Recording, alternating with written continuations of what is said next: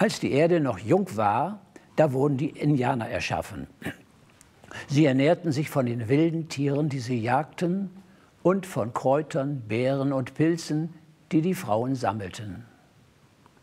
Eines Tages sind die Männer auf der Jagd und die Frauen sammeln Pilze, Beeren und Kräuter.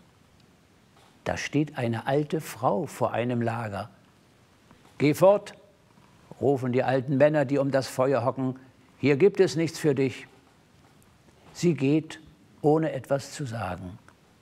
Aber auch im zweiten und im dritten Lager will man sie nicht haben. Schließlich kommt sie zum Alligatorstamm. Dort stehen keine, da stehen nur einfache Hütten. Da sind keine wertvollen Fälle und Kriegsauszeichnungen zu sehen. Wieder bittet die alte Frau um einen Platz am Feuer, um und um etwas zum Essen und zum Trinken. Schon winkt man sie heran. Ja, setz dich zu uns und iss mit uns. Du musst einen langen Weg hinter dir haben. Du siehst so verhungert aus und deine Kleidung ist so zerlumpt. Die alte Frau setzt sich zu ihnen ans Feuer und bekommt etwas zum Essen und zum Trinken. Am nächsten Morgen gehen die Männer wieder auf die Jagd und die Frauen sammeln Beeren, Pilze und Kräuter. Die alte Frau bleibt im Lager. Niemand kennt sie, aber alle vertrauen ihr. Sie achtet auf die Kinder und hütet das Feuer. Als zur Mittagszeit die Männer und Frauen zurückkehren, da rufen die Kinder, wir haben schon gegessen. Die alte Frau hat uns einen Brei gekocht, der schmeckt besser als Pilze, Beeren und Kräuter. Da sagt der Medizinmann, hebt mir etwas auf. Ich möchte morgen auch den Brei probieren. Am nächsten Morgen füllt ein Mädchen ein kleines Schälchen mit dem Brei und als dann zur Mittagszeit der, Häupt der Medizinmann kommt, probiert er den Teig. Oh, der ist ja lecker. Aber es gelingt ihm nicht herauszufinden, woher die alte Frau die Zutaten für den Brei genommen hat. Eines Tages ist die alte Frau verschwunden. Niemand weiß, wohin sie gegangen ist. Ein kleiner Junge nur denkt immer wieder an die alte Frau und an den leckeren Brei. Als er dann eines Tages herangewachsen und zum Krieger ausgebildet ist, macht er sich auf den Weg, um die alte Frau zu suchen.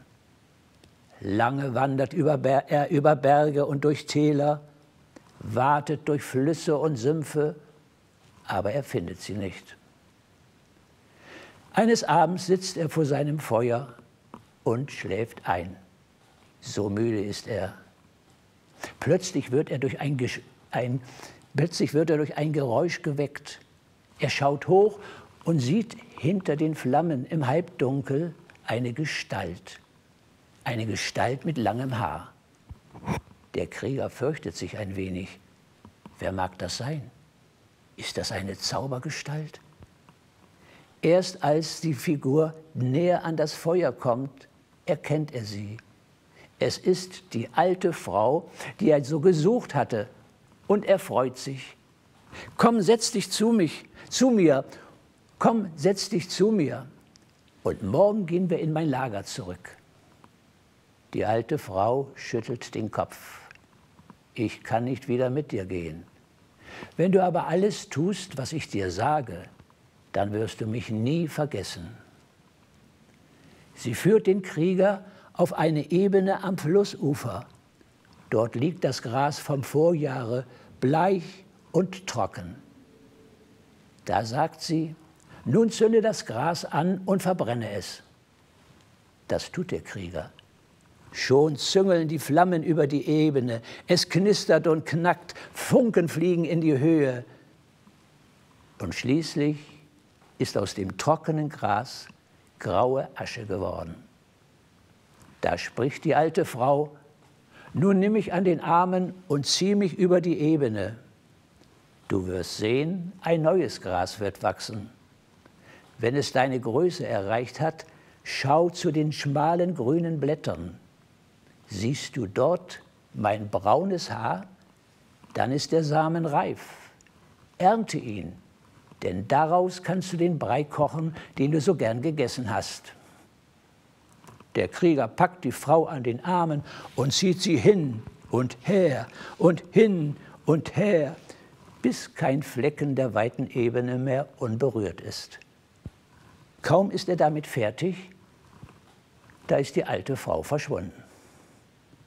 Langsam geht er zu seinem Lager, legt sich ans Feuer und schläft ein.